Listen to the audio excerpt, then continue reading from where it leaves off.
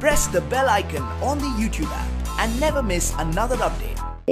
Kim Jong Un बोले, उत्तर Korea के सामने ज़िंदगी और मौत का बड़ा संकट उत्तर कोरिया के supreme leader Kim Jong Un ने कहा कि इस साल देश की बिगड़ती अर्थव्यवस्था को सुधारने के सुधारने के काम पर ध्यान केंद्रित किया जाएगा शुक्रवार को किम जोंग उन ने कहा कि देश के सामने ज़िंदगी और मौत का बड़ा संकट खड़ा है।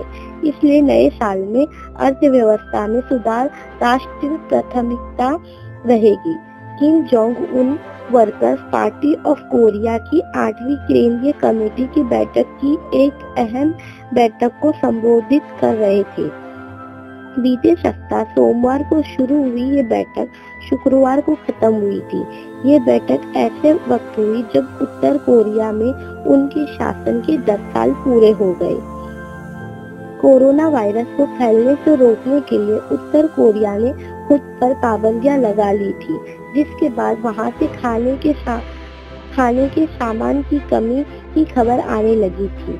जनवरी 2020 में उत्तर कोरिया ने चीन के साथ सटी अपनी सीमा बंद कर दी थी।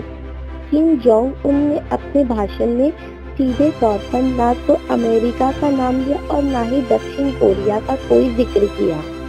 उन्होंने कहा कि उनका मुख्य काम देश का विकास करना और लोगों की जिंदगियों को बेहतर बनाना है।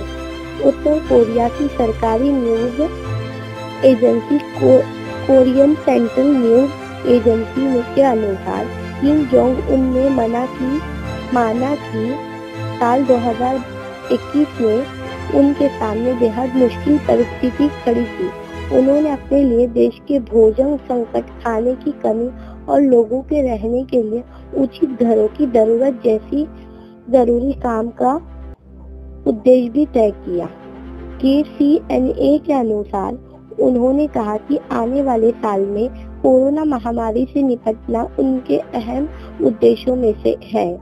उन्होंने कहा, देश देश के काम में महामारी से बचने के लिए इमरजेंसी जैसे कदमों का सर्वोच्च प्राथमिकता दी जाएगी।